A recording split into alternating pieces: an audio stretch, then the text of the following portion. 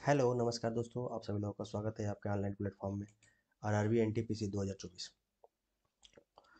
N T P सी जिसका form आए हुए नोटिफिकेशन आया नोटिफिकेशन के बाद फॉर्म भी फिलिंग शुरू हो गई। अब इसका क्या है? बहुत लोगों को ये डाउट है कि क्या क्या किया जाए इसमें? फॉर्म भरा जाए, नहीं भरा जाए? जे का एग्ज़ाम कब होगा, इसका एग्ज़ाम कब होगा? तो आप लोगों से यही कहेंगे जे के एग्ज़ाम हो या N T P C exam इन दोनों एग्ज़ाम में काफ़ी बीच में गैप मिलेगा। पहली बात।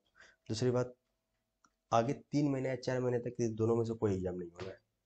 ठीक है, अभी R R B A L P का जब तक वैकेंसी का उसका जो जो है, एग्जामिनेशन जब तक नहीं हो जाता, तब तक ना तो आर आर बी जेई का होगा, ना तो R R B N T P C का होगा। ठीक? पहली बात। दूसरी बात क्या है? कि हाँ लोगों को ये दिक्कत हो रहा होगा कि कहाँ से, कौन सा जोन से भरा जाए, जिससे कट ऑफ़ कम रहे। तो आज के डेट में ये बात भी आपको देखना पड़ेगा। कि लोग उसी जगह से मोस्टली भरना चाह रहे हैं जहाँ पर कट ऑफ़ कम है। तो अब पता चला कि सभी लोग उसी जगह से भर दिए तो कट ऑफ़ वहाँ सबसे ज़्यादा हो गया, बाकी दूसरे जगह जो है, कुछ लोग भरे, वो लोग सिलेक्शन लेके निकल गए। तो ऐसा भी चक्कर मत रहिए। हाँ थोड़ा सा देख लीजिए, जहाँ आपको सुविधा रहे एग्ज़ाम देना, पता चला आप भर दिए बहुत दूर, और उसके बाद एग्ज़ाम ही देने ना जा पाए। तो ये भी तो समस्या, कोई फ़ायदा तो होगा नहीं, पाँच सौ रुपया अलग से बर्बाद हो जाएगी। ठीक। तो सब चीज़ का ध्यान रखते हुए जैसा आपको जो सुटेबल पड़े, जैसा मतलब जिससे आपको जाने में आराम रहे एग्ज़ाम दे सके। मेन है एग्ज़ाम देंगे तभी सिलेक्शन होगा, ठीक? बहुत लोग एग्ज़ाम छोड़ देते हैं। पिछले बार एन आया था, बहुत लोगों सेंटर इतना दूर दूर दे दिया था, दूसरी जगह से भर दिए। कुछ बेंगलोर से, कुछ चेन्नई से, कुछ जम्मू कश्मीर से तो कुछ गुवाहाटी से। एग्ज़ाम नहीं देने जा पाए। बहुत लोग एग्ज़ाम छोड़ दिए। तो कोई फ़ायदा नहीं है ना? तो इस बात को ध्यान रखते हुए अपने हिसाब से सेंटर डालिए मतलब कि जोन डालिए बोर्ड डालिए, जो भी है, और पढ़ाई में लग जाइए। देखिए, अभी भी बहुत टाइम है एनटीपीसी में। एनटीपीसी में अभी अगर आप देखें तो लगभग लगभग चार महीना मिनिमम फोर मंथ है। फोर मंथ के बाद ही एग्ज़ाम होगा। सिक्स मंथ भी आप बोल सकते हैं। और इतना ही बहुत बड़ा सिलेबस नहीं है कि हाँ आपसे ना हो सके। आपसे क्या किसी से भी ना हो सके। बस यही है कि डेली की डेली आपको थोड़ा एक टाइम पीरियड देते हुए, ज़्यादा नहीं, दो घंटा, तीन घंटा, चार घंटा, एक महीने में, डेढ़ महीने में आप पहले सभी कंसेप्ट पढ़ लीजिए थ्योरी पढ़ लीजिए। सभी तो करना बहुत आसान है, लेकिन करना बहुत मुश्किल हो जाता है। अगर जी के एस में अगर आप पढ़ने लग जाए जनरल नॉलेज में तो पूरा पढ़ने में आपको दो साल लग जाएँगे। वैसा नहीं करना मेन एग्ज़ाम का जो ट्रेंड है, उस हिसाब से पढ़ना है। और किसी भी जोन में आप डालिए, लगभग लगभग सेवेंटी फाइव से एट्टी नंबर कट अप जाएगा। उससे नीचे नहीं जाना है, आठ हज़ार का लगभग पोस्ट है, आठ हज़ार इक्यासी सौ, बयासी सौ। ठीक, पहली बात। दूसरी बात यह है कि सभी लड़के जो है जॉब के लिए परेशान है। बेरोजगारी इतनी लात मारी है लोगों की, लोगों को कि लोग किसी तरह से नौकरी लेना चाह रहे हैं और कहीं ना कहीं मिले। तो पढ़ने वाले लड़कों का जिनको ज़रूरत है, उसके लिए ये डिपेंड नहीं करता कहाँ से क्या है। वो पढ़ाई में लग गया। पता चला कि हाँ एन की वैकेंसी आने वाला है, वो पढ़ाई में लग गया क्योंकि उसको सिलेक्शन लेना है। हाँ कुछ लोगों को होता है, किस्मत खराब रहता है एम टाइम में तबियत खराब हो जाती है हो जाती है। जिसके कारण दूसरे लड़के निकल जाते हैं। तो जो होता है ना कि हाँ शॉर्टकट अपना करके इसने सिलेक्शन ले लिया। तो उनके जगह वो फील हो जाते हैं। बस। ठीक है? बाकी नेक्स्ट आगे। हाँ अब अगला बात क्या है? तो बात क्या है? एग्ज़ाम पैटर्न तो एग्ज़ाम में आप लोगों ने जो भी नोटिफिकेशन पढ़े होंगे, उन लोगों को तो पता होगा। देख लिए होंगे, लेकिन जो लोग नहीं देखे उनको बता देता हूँ मैं। एग्ज़ाम आपको लगभग लगभग कितना? 90 मिनट्स के रहेंगे। और हंड्रेड मार्क्स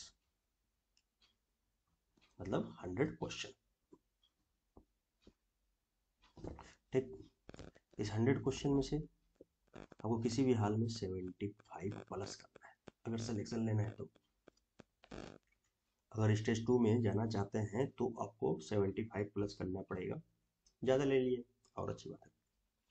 ठीक. अच्छा एग्ज़ाम में पूछा कहाँ से क्या कितने क्वेश्चन किधर किधर से डिवाइड किए तो आपका जो हंड्रेड मार्क्स है हंड्रेड मार्क्स को तीन भागों में डिवाइड किया गया। कौन कौन? एक तो, तो हो गया आपका जनरल अवेयरनेस अब जनरल अवेयरनेस और जनरल नॉलेज और जनरल स्टडी में अंतर समझना पड़ेगा। ठीक जनरल अवेयरनेस में मोस्टली आपको स्टैटिक क्वेश्चन आ जाते हैं। आर्ट एंड कल्चर जो भी चीज़ें हैं क्लासिकल डांस हो गया ठीक फोल्क डांस हो गया संगीत हो गया बहुत सारी चीज़ें जैसे आते हैं तो सब बाकी चैनल में आपको सब समय समय बताया जाएगा। इसके लिए निश्चिंत रहिए। उसके बाद फिर हो गया आपका मैथ। मैथ में क्या है? मैथ में भी वही, मोस्टली आपको एप्टीट्यूड मिलेंगे इसमें।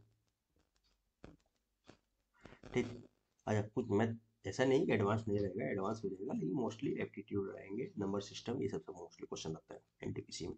ठीक नेक्स्ट क्या है? बाकी बचता है रीजनिंग और रीजनिंग भी आपका लगभग लगभग। प्रैक्टिस पेपर कीजिएगा सिलेबस पढ़िएगा, सब हो जाएगा। रीजनिंग भी बहुत बड़ा ब्रास नहीं रहता है। बस ये है कि टाइम टाइम मैनेजमेंट और सिलेबस आपका जो भी टॉपिक चीज़ें हैं, उसको कवर करना है। तो यहाँ पर जैसे जनरल अवेयरनेस फोर्टी क्वेश्चन आएँगे। बहुत बड़ा फैक्टर है एस एस सी इसमें एन टी पी में। ठीक? मतलब कि जिसका जी के ठीक है, वो सिलेक्शन ले जाएगा, बाकी मैथमेटिक्स रीजनिंग में डेढ़ घंटा यार काफ़ी टाइम होता है भाई। जीके जी एस अगर तुमने कर लिया टेन मिनट फिफ्टीन मिनट में भी फोर्टी क्वेश्चन तो बाकी टाइम पूरा है ना तो उसमें तो रीजनिंग मैथमेटिक्स ना कुछ थर्टी भी कर लोगे तो हो गया ना थर्टी थर्टी फाइव फोर्टी क्योंकि सिक्सटी क्वेश्चन है. मैथमेटिक्स से थर्टी क्वेश्चन एंड रीजनिंग से थर्टी क्वेश्चन ओके तो बस मैं यही कहूँगा कि इसमें सबसे ज़्यादा इम्पोर्टेंट जो है जी के है.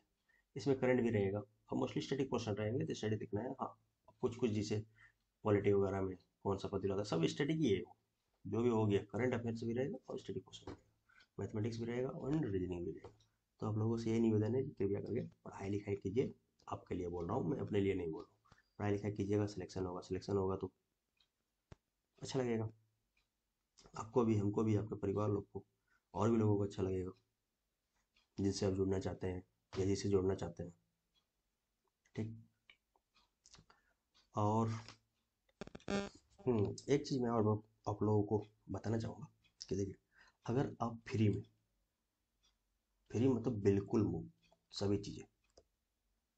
क्या क्या रीजनिंग हो गया मैथ हो गया जनरल अवेयरनेस हो गया करंट अफेयर हो गया जो भी चीज़ सब फ्री में टोटल चीज़ें एन टी में जितना रिक्वायर्ड है उतना चीज़ें अगर आपको लेना है तो आप हमारे चैनल को फॉलो कीजिए। दो चार पाँच दिन इधर रहेगा गेप लेकिन उसके बाद फिर आपको कंटिन्यू आपके सभी मटेरियल मिलेंगे। आपको इतना मटेरियल दे दिया जाएगा जिससे आपका सिलेक्शन में ये ना लगे कि हाँ सिलेक्शन के लिए हमको और पढ़ने की ज़रूरत है या और कुछ करने की ज़रूरत है। आपको इतना करवा दिया जाएगा कि आप सब मोर देन सफिशियंट रहेगा वो। ठीक है? हाँ अगर बहुत नॉलेज लेने का किसी का मन है तो भाई बहुत नॉलेज लेने के लिए तो बहुत जगह है। लीजिए इसीलिए कोई ज़्यादा कोचिंग करने या किसी का कोर्स लेने, ये सब ज़रूरत नहीं पड़ेगी आपको आप केवल यूट्यूब चैनल देखिए ना, बहुत लोग बहुत कुछ पढ़ा रहे हैं। मेरे साथ भी जुड़ सकते हैं, दूसरे लक्ष्य के साथ भी जुड़ सकते हैं। बस खाली टॉपिक सेलेक्ट कीजिए, उसको आप जो भी टॉपिक है, उसको सिलेक्ट कीजिए और उसके अकॉर्डिंग आप अपना प्रिपरेशन कीजिए। एक शॉर्ट नोट्स बनाता जाइए सभी सिलेक्शन आराम से मिलेगी। कोई सी बड़ी बात नहीं है कि सिलेक्शन ना मिले। ठीक? ठीक है तो आज के लिए इतना ही। हाँ आप लोगों से एक रिक्वेस्ट है। देखिए, पढ़ाएँगे तो मैं भी पढ़ाऊँगा मतलब मैं भी मेटेरियल आपको प्रोवाइड करवाऊँगा। और बाकी जो जिन लोगों को जुड़ना हो, वो जुड़ सकते हैं। एक रिक्वेस्ट रहेगा कि प्लीज़ लाइक कीजिए सब्सक्राइब कीजिए शेयर कीजिए। Thank you.